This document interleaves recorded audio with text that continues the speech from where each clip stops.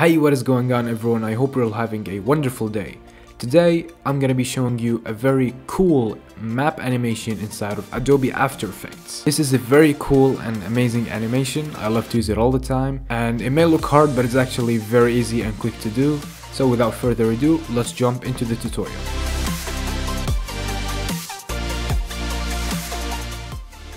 So what I would normally do is I would open up Google Maps and then I would just determine from which country slash city to where I would go. Uh, maybe if you're going on a trip, you want to make an animation for that. But for the sake of this video, I'm just I'm gonna go with the, I'm gonna make the starting point Colombia, and I'm gonna go from Colombia to Florida. Now, you can set it as you can start from a country like the whole damn country, or you can set it as a city inside of the country. That's a personal preference, really. So I'm gonna go, I'm gonna make the starting point Colombia and ending point Florida. Now what we wanna do is we wanna search on Google flight routes from Colombia to Florida. Okay, so if we search for from Colombia to Florida, it turns out that it is actually a straight line, a straight line from Colombia to Florida, but it leaves from uh, the shore, from near the Caribbean Sea, which is this city, um, Barranquilla. So now what I want to do is, what you want to do is you want to go to the Google Maps menu, click on satellite. Okay, so now we, we can see Barranquilla, I don't know if I'm pronouncing it right or wrong, and Florida. So let's say you want to go from Barranquilla to Miami. So what you want to do is you want to take a screenshot. Okay, so now the first thing that you want to do is after you've imported your uh, picture, um, we're gonna scale it up. So we're gonna click S and we're gonna scale until we can see, and put this on full, until we can see Barranquilla right here, and here's Miami. You can scale it up as much as you want. You can even reposition it. So clicking P for position, and I'm just gonna scroll about right here. So now what we want to do is we want to create a new layer. So go layer, new, solid, and doesn't matter what color you choose again. Now what we want to do is we want to uncheck the visibility of this layer click on this layer and click on the pen tool now the flight route from Barranquilla to Miami is a straight line which is convenient for us but just for the sake of this tutorial I'm gonna make it uh, kind of a bit curved so I'm gonna go like all the way here through Cuba and over the Bahamas into Miami. Where we want our curve is we're gonna just click and hold and then drag so that we make a smooth curve and then we click on Miami and we drag to make smooth curve again. Okay, now we have our mask on this layer. So what we want to do is want to make it visible again. We have our mask right here. Now you want to go to the effects and presets and you want to search for stroke effect under generate apply it to this layer. And now under stroke in effect controls paint style you want to click on transparent. This is gonna make it uh, it's, it's only gonna show our mask. And what we can do here is we can increase the brush size. We can change the color of course. Now what also we can do is we can increase the brush hardness or we can decrease it. And there's a spacing which means it'll be dots or you can make it as a whole straight line. For this tutorial I'm gonna have spacing at 100% and maybe keep reduce the brush size a bit.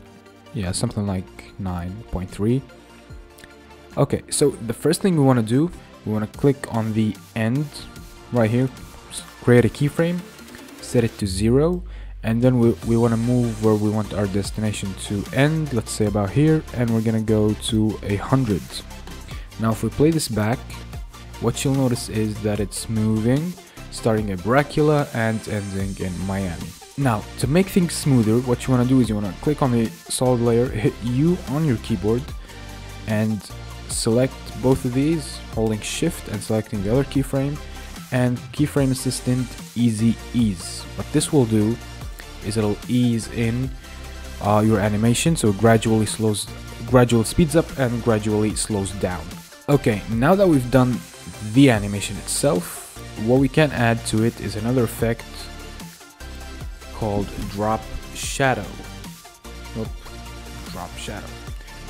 What this will do, we're gonna add to the light. What this will do is it's gonna make a shadow for our animation. So if we go here and we can increase the opacity and now we can play with the distance so I'm gonna put it about here change the opacity to about 40% we can also change the direction so we can put the shadow to the left side or the right side.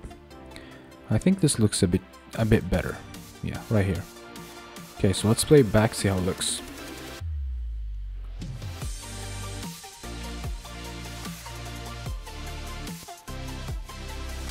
Okay, so it looks pretty dope. And what we want to do now is we want to animate the map itself alongside this animation.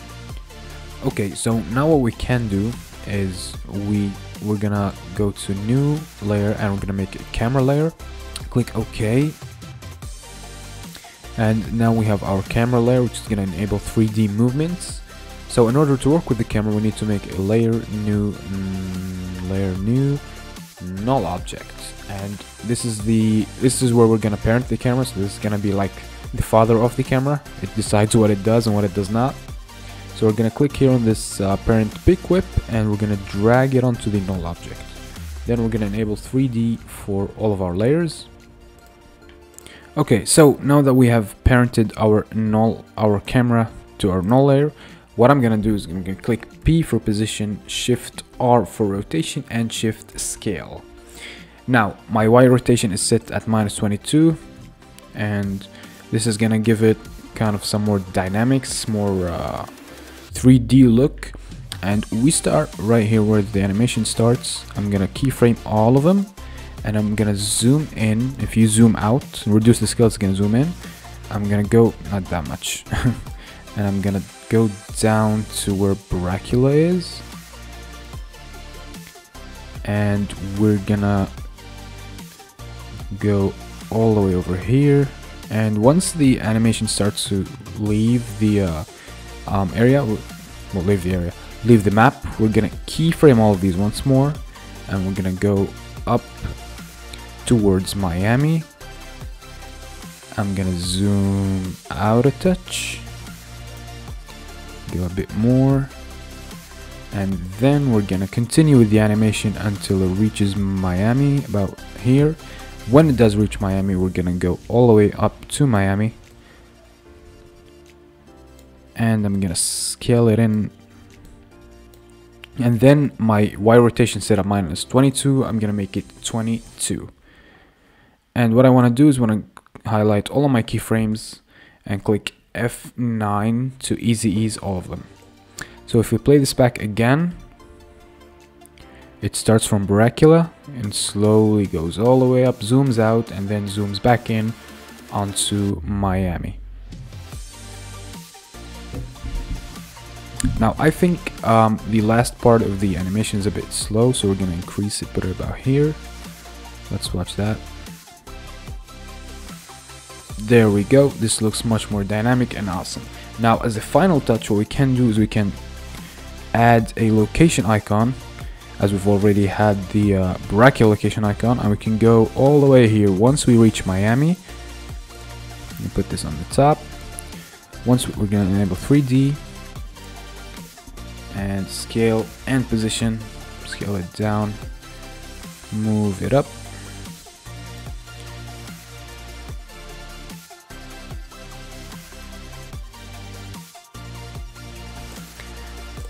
and now we have it onto Miami. So what we can do is when the animation reaches Miami we're gonna I'm just gonna delete the rest of this layer and we can click on scale. We can make a keyframe for it. We can keep it at zero. And once the animation reaches Miami we're gonna make it kind of pop. And we're gonna easy ease these keyframes as well. So once more F9 for easy ease. And this is how it looks so this is how you guys make an awesome 3D map animation inside of After Effects. Let me know what you guys think down below in the comments. I'm always open to hearing your suggestions and thoughts. And if you guys enjoyed the video, please hit the like and subscribe button for more future uploads. As always guys, thank you so much for watching. I'll see you guys in the next one. Peace.